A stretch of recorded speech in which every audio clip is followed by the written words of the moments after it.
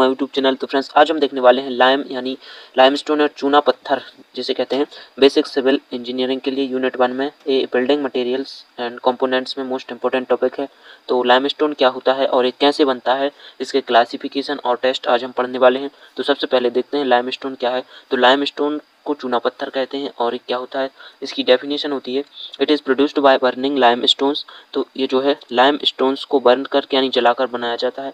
The lime is an ancient cement material और यह एक सीमेंट मटेरियल है। It has been used for early days to be a good building material in construction तो यह जो है, पहले के ज़माने में बिल्डिंग कंस्ट्रक्शन के लिए बिल्डिंग मटेरियल के रूप में यूज़ होता था और the lime is not available in nature in free state तो लाइम जो है फ्री स्टेट में अवेलेबल नहीं होता, इसे बनाया जाता है। लाइम की डेफिनेशन आप इस तरीके से भी लिख सकते हैं। Due to burning of lime stone the moisture of C O two gas are removed the remaining product is known as lime तो क्या होता है? जब लाइमस्टोन को जला दिया जाता है और इसमें से मॉइस्चर और सी ओ टू गैस को रिमूव कर दिया जाता है तो जो प्रोडक्ट बनता है हमारे पास, वो होता है लाइम स्टोन इसे लाइम कहते हैं। इसके बाद देखते हैं क्लासिफिकेशन ऑफ़ लाइम तो लाइम को कितने भागों में बांटा गया है? लाइम को तीन टाइप्स में बांटा गया है क्लासिफाइड किया गया है। पहला जो हमारे पास टाइप है, वो है फैट लाइम तो this is also known as white lime तो जो लाइम फैट लाइम है, वो उसे वाइट लाइम भी कहते हैं प्योर लाइम भी कहते हैं और हाई कैल्शियम लाइम कहते हैं। It is obtained by calcination of pure lime stone which should not contain impurities more than five percent तो इसे जो है, कैसे बनाया जाता है? कैल्सिलेशन करके बनाया जाता है प्योर लाइम स्टोन को और इसमें पाँच परसेंट से ज़्यादा इम्प्योरिटीज़ नहीं पाई जाती। It is pure white in colour और ये कलर में प्योर वाइट होता है। It set slowly in the presence of air तो यह जो है स्लोली सेट होता है, यानी बहुत धीमे से यह सेट हो जाता है और एयर की उपस्थिति में। दूसरा हमारे पास क्लासिफिकेशन में हाइड्रोलिक लाइम हाइड्रोलिक लाइम क्या होता है? This lime contains clay and some amount of ferrous oxide तो ये जो है क्ले और कुछ मात्रा में क्ले यानी मिट्टी और कुछ मात्रा में फेरस ऑक्साइड से मिलकर बनता है। Hydraulic lime is divided into the following three categories या थ्री कैटेगरीज में डिवाइड है। Feebly hydraulic lime moderately hydraulic lime और इमिनेटली हाइड्रोलिक लाइम तो ये क्या होता है? क्ले के कॉन्टैक्ट पर आधारित होते हैं, यानी मिट्टी की परसेंटेज पर ये होते हैं। यानी जब पाँच से दस परसेंट मिट्टी इसमें होगी तो ये फेबली हाइड्रोलिक लाइम कहलाएगा और मॉडेफरली कब कहलाएगा? जब ग्यारह से बीस परसेंट मिट्टी होगी और इमिनेंटली हाइड्रोलिक लाइम होगा जब इक्कीस से तीस परसेंट इसमें मिट्टी अवेलेबल होगी।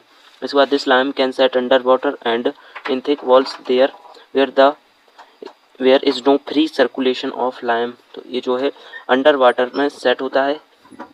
नेक्स्ट हमारे पास poor lime this is also termed as lean lime और इम्प्योर लाइम इसे इम्प्योर लाइम भी कहते हैं और it consist contains more than thirty percent of clay तो ये जो है मिट्टी की तीस परसेंट से ज़्यादा मात्रा इसमें होती है, इसलिए इसे इम्प्योर लाइम कहते हैं। नेक्स्ट है यूजेस ऑफ़ लाइम तो इसके क्या क्या उपयोग होते हैं?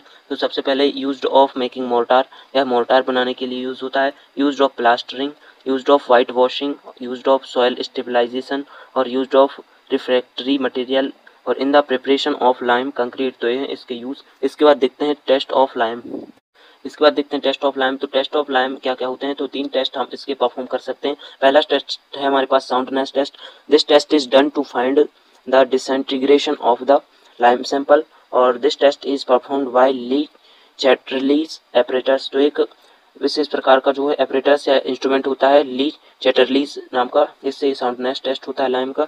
इसके बाद नेक्स्ट है विजुअल टेस्ट यानी हम इसे देखकर इसका टेस्ट कर सकते हैं। This is performed for physical appearance of lime तो ये फ़िज़िकल अपीरेंस के लिए टेस्ट किया जाता है।